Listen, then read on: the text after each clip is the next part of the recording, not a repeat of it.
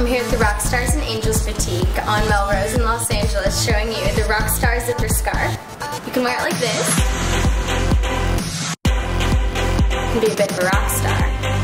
Or you can zip it. Or wear it like this.